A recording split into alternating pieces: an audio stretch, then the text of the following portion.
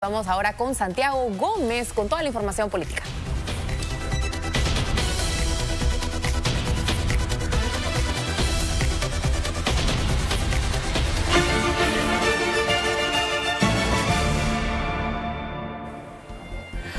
Estamos con Santiago Gómez, con todo el análisis político, una jornada que me trajo un regalito. ¿Cómo estás? Tal cual, Lore, ¿cómo estás? Feliz cumple. Eh, Muchas gracias. Un gustazo estar contigo y saludar a todos los que se conectan a esta hora al noticiero del mediodía. Bueno, la información de última hora llega de Palacio de Gobierno con la designación de un nuevo ministro de Salud luego de la renuncia de Rosa Gutiérrez fuertemente criticada por su gestión ante el dengue. Hoy juró en el cargo. Atención, ex congresista de Alianza para el Progreso, dirigente, militante, hombre cercano de César Acuña. Habló de César Vázquez, Tocayo, si quieres, de César Acuña, Chotano como César Acuña, Lore. Es el nuevo ministro de Salud. Un excongresista, decíamos, un político, se desempeñaba como gerente general del partido Alianza para el Progreso. Hoy tomó juramento, eh, se persignaba así, encomendándose.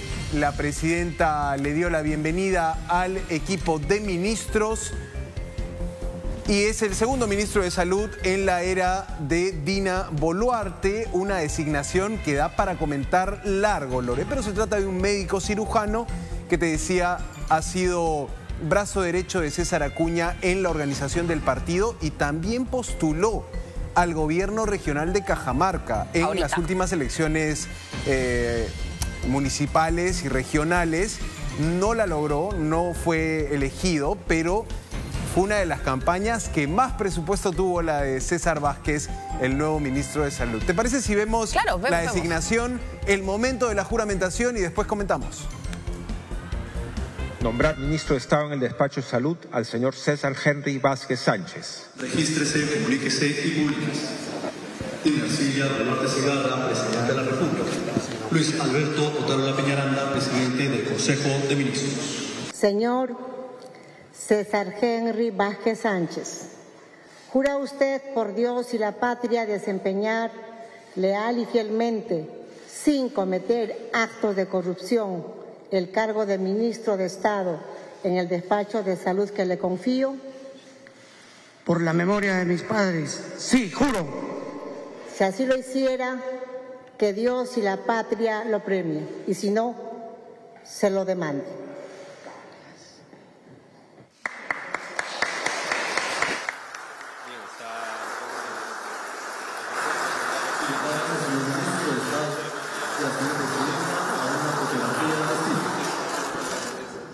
También invitamos al señor presidente Ahí estaba, Lore, el momento de la juramentación. Se sumaba el Premier a esa foto oficial. Todo el gabinete estuvo acompañando este momento. Sí, hay esa frase popular que dice, todos los caminos llevan a Roma. Yo te diría ahora, todos los caminos llevan a la mesa directiva. Porque yo creo que esa designación de alguien tan cercano a APP, Ojo, según información que publicaba el Diario la República cuando era candidato a eh, el gobierno regional, trabajaba como asesor de Lady Camones, que es de APP, que integró la mesa directiva en su momento también. Quieren eh, desde el gobierno gestionar alguna alianza para tener bancada sin tenerla.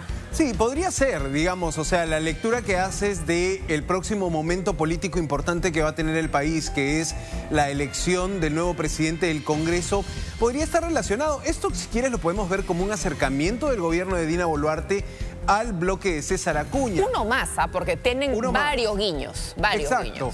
Digamos, será muy difícil que eh, los congresistas del bloque acuñista promuevan una interpelación contra este ministro a quien conocen de las filas partidarias. Hay por allí, si quieres, una mano tendida al bloque de César Acuña, pero también puede haber una estrategia detrás de colocar a, eh, en este caso, un provinciano, un norteño. Eh, el señor César Vázquez viene de Cajamarca, vida política activa en Cajamarca probablemente le será muy fácil coordinar la situación del dengue con gobiernos regionales afines a su partido político, como el gobierno regional de Tumbes, que es de APP, el gobierno regional de La Libertad, que también es de APP.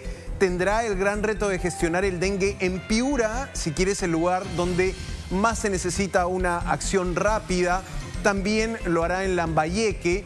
Entonces estamos ante una designación que por un lado puede presentarte en lo inmediato las credenciales de un médico, pero con una fuerte carga política. El señor eh, César Vázquez tiene la experiencia de un Congreso 2016-2017, tiene también la experiencia de haber asesorado a políticos, de haber tenido una campaña política, es decir, eh, es un ministro que por un lado cumple el requisito técnico inicialmente, pero que también es un peso político. Y te digo, sí puede ser vista la designación como un puente con César Acuña en un gobierno eh, al que le faltan aliados en el Congreso. Hemos visto cómo las voces de un adelanto de elecciones han empezado a crecer en los últimos días. La presidenta busca quizá allí tender un puente con uno de los grupos políticos eh, más numerosos del Congreso, que es APP.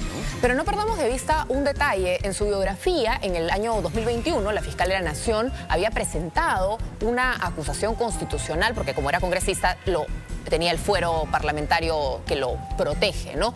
Por una acusación de tráfico de influencias agravado, vinculado a esta organización criminal que lideraba el alcalde de Chiclayo. Exacto. Entonces, esa denuncia involucraba también a Héctor Becerril, involucraba a Javier Velázquez, Velázquez y sin embargo fue archivada esa denuncia. Pero hay varias voces que dicen que, para variar, cuando se trata del Congreso, terminó siendo un salvavidas político el que le dieron para que la Fiscalía no pueda investigar. Que te investiga no significa que eres culpable.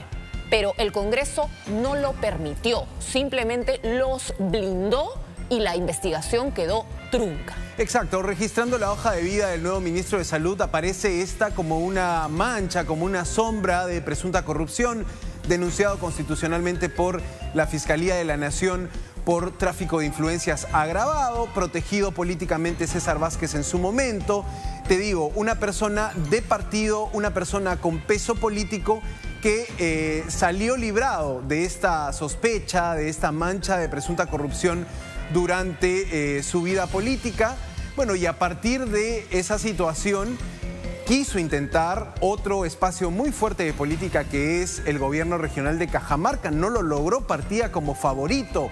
Una campaña millonaria para hacerse de esa Tú gobernatura. estuviste ahí, ¿no? Exactamente. Tú estuviste Y- ahí y nos contabas que los cierres de campaña, Eso. tú elegías al grupo, la banda más famosa, más costosa, y esa estaba allá. Todavía recuerdo el cierre de campaña de César Claro. Vázquez en la Lo región. Cajamarca con Corazón Serrano a todo dar, de todas las provincias se movían.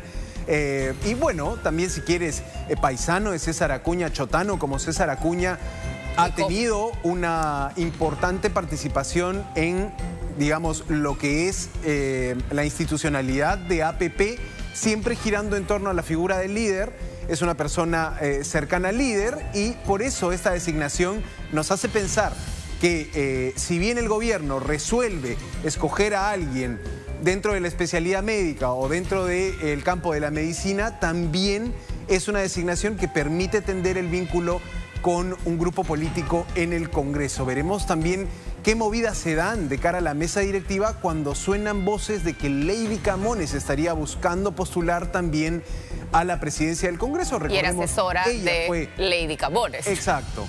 Dos más dos como es ocurre, cuatro. Claro, como ocurre con, con los militantes de APP que suelen tener espacio en el Congreso. Pero la juramentación de esta mañana, Lore, estuvo también marcada por un abrazo entre la presidenta y Rosa Gutiérrez. Vamos a ver este momento donde la saliente ministra de Salud no quiso quedarse fuera de la foto, asistió y la invitaron allí a que salude a su reemplazo. Vean.